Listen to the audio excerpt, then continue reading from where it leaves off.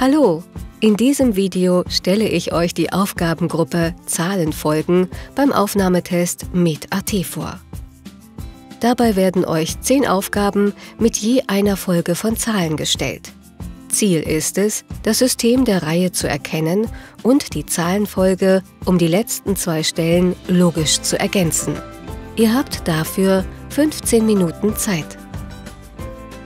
Tipp um auf die korrekte Antwort zu kommen, müssen alle Zahlen mit einbezogen werden. Außerdem gelten nur die vier Grundrechnungsarten. Um diese Aufgabengruppe gut zu meistern, kannst du dir einige Übungsbeispiele auf der offiziellen Lernplattform VMC anschauen.